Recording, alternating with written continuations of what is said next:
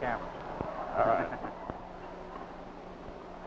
You going to be able to catch, uh, catch the conversation here? All right, can you? All right. And we discussed uh, uh, each of the elements of those uh, additions that were uh, made by the House uh, in its action yesterday. Uh, in practically every instance, uh, we have expressed to the Senate committee a desire for a rehearing on uh, on those matters where changes were made. Some of the changes we did accept, and uh, will proceed uh, uh, on the the changed basis. In other words, you have a use for some of the money, but uh, not all of it?